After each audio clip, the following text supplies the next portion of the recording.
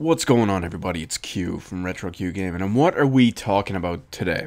Well, we are talking about Final Fantasy 15. Now, what is Final Fantasy 15 real quick? Well, Final Fantasy 15 is a very pretty game on PC when turned up to max settings on a powerful machine. It's also a very fluid running game if, again, you play on PC and not on a console because it has 60 and above frames per second. Something that is absolutely required in action-based games and Final Fantasy 15 is not a turn-based game like most most original old school JRPGs, hence most good JRPGs. Looking at you, Persona 5, you're releasing in 2017 and you released turn based and you are amazing. Anyway, that's beside the point. So, what else is Final Fantasy 15? Well, Final Fantasy 15 is a dead horse. It is an absolute horror of a game. It was also in development hell for mm, about 10 or 12 years or so. Originally announced way, way back in the day at the same time as Final Fantasy 13. Yeah, let that sink in. But Final Fantasy 15 didn't actually launch until over 10 years later at the end of 2016. And one of the major criticisms about Final Fantasy XV, other than its terrible gameplay, it's almost bland, well, almost bland in the sense of a Final Fantasy-esque soundtrack. Did I mention the terrible gameplay and characters other than Cindy? Cindy is Bay, of course. In fact, I just bought her PlayArts Kai figure last night on sale on the Square Enix EU store. But I'm getting a little bit off topic. I want to stay on the topic of many, many, many, many, many, many, many things wrong with Final Fantasy 15. And I want to really, really, really, really, really, really, really, really, really, really emphasize how much of a horror this game is to Square Enix because we're well beyond a point where it's a time to stop. So what do I mean anyway? Well, other than being one of the top 3 worst mainline Final Fantasy games ever made, Final Fantasy 15 is probably also the number one game with multiple different crossovers, many completely irrelevant, many not even Square Enix franchises. But Final Fantasy XV, in order to recoup some of its ridiculous amounts of development costs because of the terrible engine and terrible decisions made throughout all the life cycle of the game and the development process,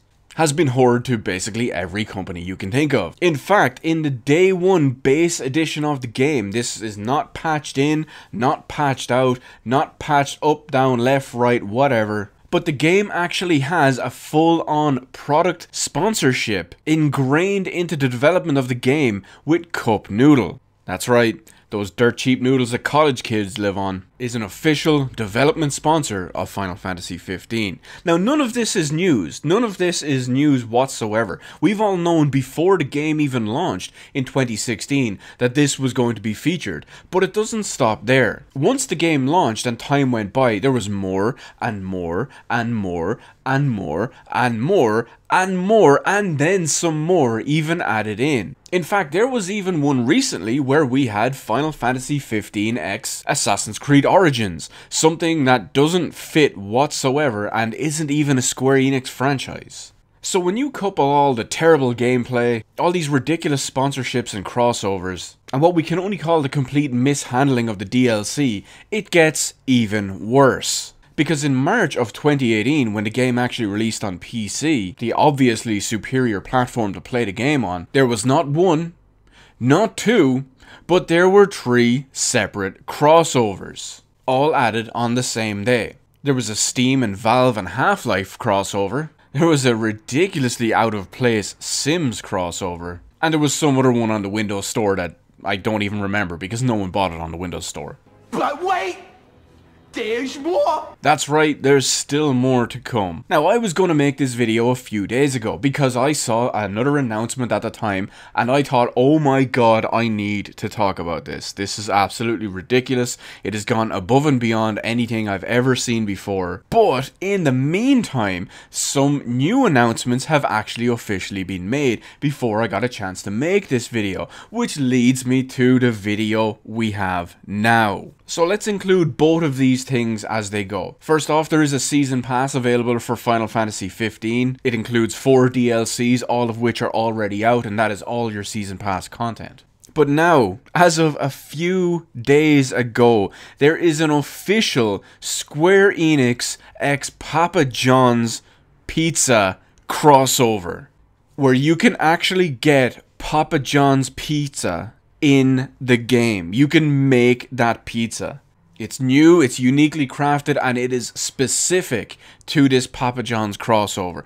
There's some way as well, if you do something or use a promo code, you can actually buy a real Papa John's pizza and get a bit of a discount. We don't have them here, so I don't, I just brushed that off completely. And that was the one that was going to make me make this video in the first place. But then the rest of this happened and they announced there are this has been rumored for a while now but they actually finally officially announced it they are bringing out four more DLCs.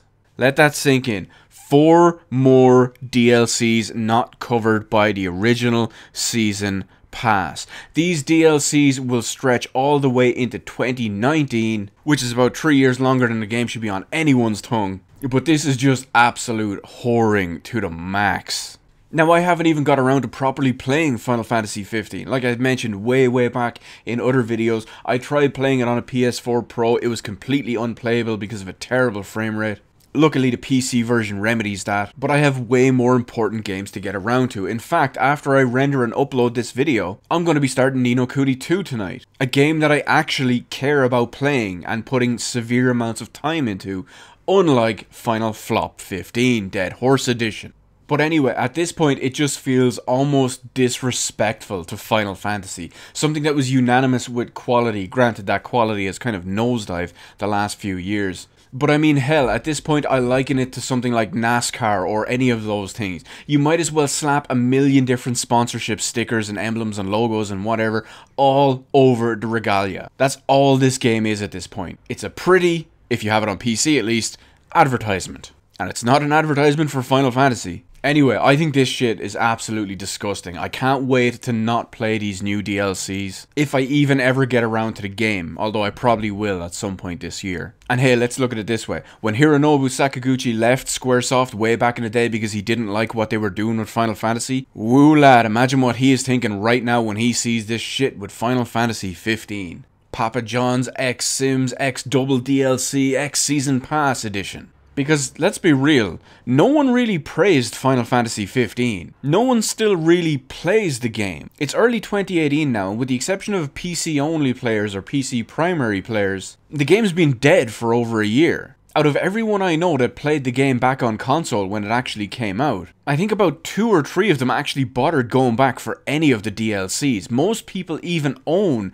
the season pass, but didn't even bother going back for the DLC. It's just that lackluster. By the way, have I mentioned the game is shit? Not you, Cindy, I still love you. Anyway, I'm going to wrap it up now because I'm just going to keep talking in circles. But it's disrespectful, it's absolutely disgusting. And what do you think about the whole situation with Final Fantasy 15 and its 8 bajillion gazillion current crossovers and sponsors? And it's probably more upcoming 8 million billion jillion more upcoming crossovers and sponsors and whatever. Because if they're supporting this game with DLC into 2019, you damn well know they're going to be crossing this shit over with anything they can get their grubby little fucking hands on. So let me know all that good stuff in the comments section below. Hit the appropriate button to let me know how it did on the video. While you're at it, why not hit that subscribe button and even turn on the notification bell to see all the good stuff as it comes directly to you. Meanwhile, I'm going to play a real JRPG and I will see you guys on the rest of the videos in my channel.